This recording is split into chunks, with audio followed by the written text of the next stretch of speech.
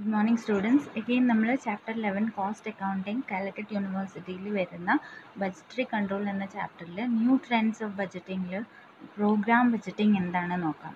അതും ഒരു different new approach of budgeting ആണ്. അതെന്താണ് നോക്കാം? Programme budgeting same performance budgeting പോലെ തന്നെയാണ്. പക്ഷെ ചെറിയൊരു വ്യത്യാസം മാത്രം പെർഫോമൻസ് ബഡ്ജറ്റിംഗിൽ നമ്മൾ അളക്കുന്നുണ്ട്. എങ്ങനെയാണ് പെർഫോമൻസ് നടന്നുകൊണ്ടിരിക്കുന്നുണ്ടോ? നമുക്ക് ശരിക്കുള്ള ഔട്ട്പുട്ട് കിട്ടുന്നുണ്ടോ? ഇല്ലേ എന്നുള്ളത്. പക്ഷെ പ്രോഗ്രാം ബഡ്ജറ്റിംഗ് മെയിൻലി ഫോക്കസ് ചെയ്യുന്നത് അതിന്റെ യൂട്ടിലൈസേഷൻ ഓഫ് റിസോഴ്സസ് എങ്ങനെയാണ് നടക്കുന്നത്? അല്ലെങ്കിൽ ഏതിലേക്കാണ് നമ്മൾ ചെയ്യേണ്ടത് എന്ന് നോക്കുന്നതാണ് പ്രോഗ്രാം ബഡ്ജറ്റിംഗ് അപ്പോൾ അതെന്തെന്ന് നോക്കാം. ഇത് ഫസ്റ്റ് യു എസ് ഡിപ്പാർട്ട്മെന്റിലാണ് ഫസ്റ്റ് ഇൻട്രൊഡ്യൂസ് ചെയ്തത്. നയന്റീൻ സിക്സ്റ്റി വണ്ണിൽ റോബർട്ട് എം നമ്മാര ആണ് യൂസ് ചെയ്തത്. ഇത് ഇന്ത്യയിലും ഗവൺമെന്റ് ഡിപ്പാർട്ട്മെന്റ്സ് അല്ലെങ്കിൽ ഗവൺമെന്റ് ഓർഗനൈസേഷൻ അല്ലെങ്കിൽ നോൺ പ്രോഫിറ്റ് ഓർഗനൈസേഷൻസ് ആണ് ഇത് അധികം ഉപയോഗിക്കുക കാരണം എന്താ വെച്ചാൽ അവർക്ക് വലിയ ഗോൾസ് അല്ലെങ്കിൽ ഒബ്ജക്റ്റീവ്സ് ഉണ്ടാവും. ആ ഒബ്ജക്റ്റീവ്സിനെ അച്ചീവ് ചെയ്യാൻ ഡിഫറെന്റ് പ്രോഗ്രാമുകളാണ് അവർ സെറ്റ് ചെയ്യുക ഇവിടെ വരുന്നത് ആ ഫങ്ഷൻസിനെയാണ് നമ്മൾ എന്ത് പറയുന്നത്? പ്രോഗ്രാംസ് എന്ന പേരിൽ പറയും. അപ്പോൾ ഏറ്റവും നല്ല പ്രോഗ്രാമിലേക്ക് നമ്മളുടെ കയ്യിലുള്ള സ്കാഷ് റിസോഴ്സസിനെ എങ്ങനെ ഉപയോഗിക്കാം? അല്ലെങ്കിൽ ഏതിൽ ഏത് പ്രോഗ്രാമിലേക്കാണ് ഉപയോഗിക്കേണ്ടത് എന്നുള്ളത് നോക്കുന്ന നോക്കുന്ന ഒരു ബജറ്റിംഗ് പ്രോസസ്സാണ് ഈ പ്രോഗ്രാം ബജറ്റിംഗ് നമുക്ക് വഴികാട്ടി തരുന്നത്. അപ്പോൾ programme budgeting mainly non profit ഓർഗനൈസേഷൻസിലും അതേപോലെ ഗവൺമെന്റ് ഓർഗനൈസേഷൻസിലുമാണ് ഉപയോഗിക്കുന്നത്. ഇത് ലോങ് ടേം ബജറ്റിംഗ് ആയതുകൊണ്ട് ഇത് mainly three to five years വരയ്ക്ക് budget prepare ചെയ്ത് വെക്കുന്ന ഒരു ടൈപ്പാണ് പിന്നെ ഇതിന് വേറൊരു പേര് പറയുന്നത് ഔട്ട്പുട്ട് ബജറ്റിംഗ് ആണ്. ഇതിന്റെ സ്റ്റെപ്സ് എന്ന് പറയുന്നത് ഫസ്റ്റ് നമുക്ക് എന്താണോ നമുക്ക് ഗോൾ നമ്മുടെ ഗോൾ എന്താണോ അത് നമ്മൾ സെറ്റ് ചെയ്ത് വെക്കണം. ഡിഫൈൻ ചെയ്ത് വെക്കണം. നമ്മുടെ അൾട്ടിമേറ്റ് ലക്ഷ്യം എവിടേക്കാണ് നമ്മൾ എന്താണ് ചെയ്യേണ്ടത് എന്നുള്ളത് അതായിരിക്കണം നമ്മുടെ ഗോൾ ആ ഗോളിലേക്ക് അച്ചീവ് ചെയ്യാൻ ഡിഫറെന്റ് ടൈപ്പ് ഓഫ് ഫങ്ഷൻസ് അല്ലെങ്കിൽ ഡിഫറെന്റ് ടൈപ്പ് ഓഫ് പ്രോഗ്രാംസ് നമ്മൾ ഐഡന്റിഫൈ ചെയ്ത് വെക്കണം. എങ്ങനെ എങ്ങനെ ചെയ്താലേ നമുക്ക് അങ്ങോട്ട് എത്താൻ പറ്റുള്ളൂ എന്നുള്ള പ്രോഗ്രാംസുകൾ സെലക്ട് ചെയ്ത് വെക്കണം. അതിൽ നിന്ന് ഏറ്റവും ബെസ്റ്റ് കോസ്റ്റ് എഫക്റ്റീവ് ആയിട്ടുള്ള അല്ലെങ്കിൽ കോസ്റ്റ് ബെനിഫിറ്റ് ആയിട്ടുള്ള ഒരു പ്രോഗ്രാമിനെ തിരഞ്ഞെടുത്തിട്ട് അതിലേക്ക് നമ്മുടെ കയ്യിലുള്ള സ്കെയർസ് റിസോഴ്സസ് പറഞ്ഞാൽ ഫണ്ടിനെ അലൊക്കേറ്റ് ചെയ്ത് കൊടുക്കുക ആ പ്രോഗ്രാം ചെയ്യാനായിട്ട്. അങ്ങനെ ചെയ്യുമ്പോഴത്തേക്ക് അത് അത് അതിന്റെ നെക്സ്റ്റ് സ്റ്റെപ്പ് പറയുന്നത് ആ പ്രോഗ്രാമിനെ ഇംപ്ലിമെന്റ് ചെയ്യുക. ആ സ്കേഴ്സ് റിസോഴ്സസ് ഉപയോഗിച്ചിട്ട് ഈ പ്രോഗ്രാമുകളിനെ നടത്തുക നടത്തി കഴിഞ്ഞിട്ട് ഏറ്റവും നല്ല രീതിയിൽ നമ്മൾ നമ്മുടെ പ്രോഗ്രാമിലേക്ക് നമ്മുടെ കയ്യിലുള്ള റിസോഴ്സസ് അലോക്കേറ്റ് ചെയ്തിട്ടുണ്ടോ എന്നുള്ള ഒരു ഇവാലുവേഷൻ ആണ് പിന്നെ നടത്തുന്നത്.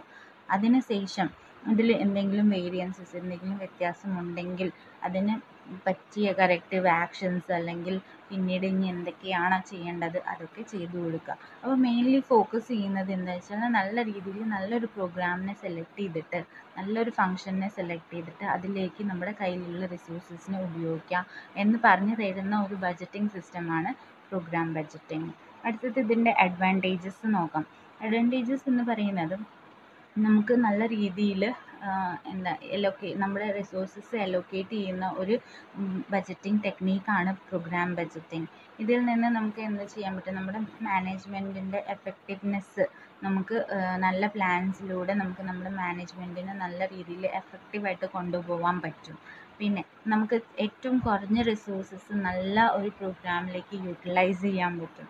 പിന്നെ നമുക്ക് സോഷ്യൽ ഒബ്ജക്റ്റീവ്സ് നമ്മുടെ സോഷ്യൽ ഒബ്ജക്റ്റീവ്സ് അച്ചീവ് ചെയ്യാൻ സഹായിക്കുന്ന ഒരു ബഡ്ജറ്റിംഗ് ടെക്നീക്കാണ് പ്രോഗ്രാം ബഡ്ജറ്റിംഗ് പിന്നെ ഏറ്റവും കൂടുതലായിട്ട് കോസ്റ്റ് ബെനിഫിറ്റ് ആയിട്ടുള്ള ഒരു പ്രോഗ്രാം തിരഞ്ഞെടുത്ത് തരുന്ന ഒരു പ്രോസസ്സാണ് പ്രോഗ്രാം ബജറ്റിംഗ് എന്ന് പറയുന്നത്. അപ്പോൾ ഇത് ഏറ്റവും നല്ല ഒരു വലിയ വലിയ ഗോൾസ് ഉണ്ടെങ്കിൽ അത് അച്ചീവ് ചെയ്യാൻ സഹായിക്കുന്നത്. അത് ശരിക്കും പറയാൻ ഗോ ഗവൺമെന്റ് ഓർഗനൈസേഷൻസിനാണ് അങ്ങനെ സോഷ്യൽ ഒബ്ജക്റ്റീവ്സ് വലിയ വലിയ ഗോൾസ് ഒക്കെ ഉണ്ടാവുക. ലോങ് ടേം ഗോൾസ് ഒക്കെ ഉണ്ടാവുക. അതിന്റെ ലിമിറ്റേഷൻസ് ഒന്നും നോക്കാം. ലിമിറ്റേഷൻസ് പറയുമ്പോൾ നമുക്ക് എല്ലാ ഓപ്പറേഷൻസുകളിനെ നമുക്ക് പ്രോഗ്രാമായിട്ട് ക്ലാസിഫൈ ചെയ്യാൻ പറ്റില്ല. എല്ലാ കാര്യങ്ങളും നമുക്ക് പ്രോഗ്രാംസ് വഴിയിലൂടെ ചെയ്യാൻ പറ്റില്ല. അല്ലെങ്കിൽ എപ്പോഴും നമുക്ക് ഗോൾസ് സെറ്റ് ചെയ്തിട്ട് ചെയ്യാൻ പറ്റില്ല. എല്ലാ ഓർഗനൈസേഷനിലും അത് ചെയ്യാൻ പറ്റില്ല. അതുകൊണ്ട് ഇത് ഇതിന്റെ ഉപയോഗം എന്ന് പറയുന്നത് ലിമിറ്റഡ് ആണ്. അധികം സ്കോപ്പ് ഇല്ലാത്തതാണ്. പിന്നെ പറയുന്നത് ഇത് നമുക്ക് ലൈൻ എക്സിക്യൂട്ടീവ് മിഡിൽ ലെവൽ അല്ലെങ്കിൽ ലോ ലെവൽ മാനേജ്മെന്റിന് ഇത് ഉപയോഗിക്കാൻ പറ്റില്ല. ഹൈ ലെവൽ മാനേജ്മെന്റിന് മാത്രം ഉപയോഗിക്കാൻ പറ്റുന്ന ഒരു പ്രോഗ്രാം ഡെസിഷൻസിന് വേണ്ടി ഉപയോഗിക്കുന്ന ഒരു ബഡ്ജറ്റിംഗ് ടെക്നീക്കാണ് പിന്നെ ഇത് ആക്ച്വൽ ബജറ്റായിട്ട് യാതൊരു ബന്ധവുമില്ല. കാരണം എന്താ വെച്ചാൽ ഇത് വെറും പ്രോഗ്രാംസ് നല്ല പ്രോഗ്രാമിനെ സെലക്ട് ചെയ്തിട്ട് അതിലേക്ക് ഉള്ള റിസോഴ്സസിനെ ഉപയോഗിക്കുക എങ്ങനെയാണെന്ന് പറഞ്ഞു തരുന്നത് മാത്രമാണ്. ആക്ച്വൽ ബഡ്ജറ്റ് എങ്ങനെയായാലും അല്ലെങ്കിൽ ആക്ച്വൽ പെർഫോമൻസ് എങ്ങനെയായാലും അല്ലെങ്കിൽ ആക്ച്വൽ പ്രോഗ്രാം എങ്ങനെയായാലും അത് തമ്മിൽ ഒരു കമ്പാരിസൺ ഒരിക്കലും ഇവിടെ നടക്കുന്നില്ല.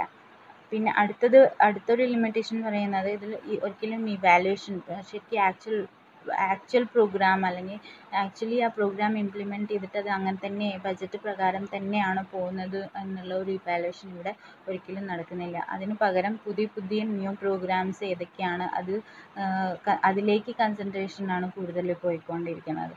അപ്പോൾ ഇതൊക്കെയാണ് അതിന്റെ ലിമിറ്റേഷൻസ് അടുത്തത് നമുക്ക് difference between programme budgeting and performance budgeting എന്ന് നോക്കാം. First programme budgeting. ഇത് ഹയർ ലെവലിൽ ഉപയോഗിക്കാൻ പറ്റുന്നതാണ്.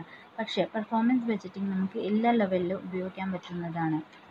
നെക്സ്റ്റ് ഡിഫറൻസ് എന്ന് പറയുന്നത് നമ്മുടെ ടാർഗറ്റ്സ് അല്ലെങ്കിൽ അച്ചീവ്മെന്റ്സിന് നമുക്ക് വെറും ക്വാണ്ടിറ്റേറ്റീവ് ആയിട്ട് അളക്കാൻ പറ്റുന്നത് അല്ലെങ്കിൽ മെഷർ ചെയ്യാൻ പറ്റുന്നതാണ് പ്രോഗ്രാം ബജറ്റിംഗ് പക്ഷേ പെർഫോമൻസ് ബഡ്ജറ്റിങ്ങിൽ നമുക്ക് മോണിറ്ററി വാല്യൂലും അതേപോലെ ഫിസിക്കൽ യൂണിറ്റ്സിലും നമുക്ക് രണ്ട് തരത്തിലും മെഷർ ചെയ്യാൻ പറ്റുന്നതാണ് പെർഫോമൻസ് ബഡ്ജറ്റിംഗ് നെക്സ്റ്റ് ഒരു ഡിഫറൻസ് എന്ന് പറയുന്നത് ഇത് ഫോക്കസ് ചെയ്യുന്നത് അലൊക്കേഷൻ ഓഫ് ഫണ്ട് ഏറ്റവും നല്ല പ്രോഗ്രാമിലേക്ക് എങ്ങനെയാണോ ഫണ്ട് അലൊക്കേറ്റ് ചെയ്യേണ്ടത് എന്നാണ് നോക്കുന്നത്.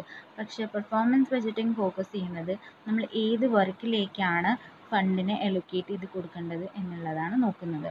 അടുത്തത് മാനേജ്മെന്റ് കൺസേൺ ചെയ്യുന്നത് എന്ത് പർപ്പസ് ഓഫ് വർക്കാണ് പ്രോഗ്രാം ബജറ്റിങ്ങിൽ എന്താണ് പർപ്പസ് ഓഫ് വർക്ക് എന്നുള്ളത് നോക്കണതാണ് പ്രോഗ്രാം ബഡ്ജറ്റിംഗ് പക്ഷേ പെർഫോമൻസ് ബഡ്ജറ്റിംഗ് കൺസേൺ ചെയ്യുന്നത് നമ്മൾ പ്രോസസ്സ് ഓഫ് വർക്ക് എങ്ങനെ ആയിരിക്കണം എന്നുള്ളതാണ്. അടുത്തൊരു ഡിഫറൻസ് എന്ന് പറയുന്നത് നമ്മുടെ problems of top level management മാത്രം പരിഹരിക്കാൻ പറ്റുന്നത് ഒരു ബജറ്റിംഗ് ടെക്നീക്കാണ് പ്രോഗ്രാം ബഡ്ജറ്റിംഗ് പക്ഷേ പെർഫോമൻസ് ബജറ്റിങ്ങിൽ ലോ ലെവൽ അല്ലെങ്കിൽ മിഡിൽ ലെവൽ മാനേജ്മെന്റിന്റെ പ്രോബ്ലംസും കൂടി നമുക്ക് ഡീൽ ചെയ്യാൻ പറ്റുന്നതാണ്. അപ്പോൾ ഇത്രയാണ് difference between programme budgeting and performance budgeting so thank you so much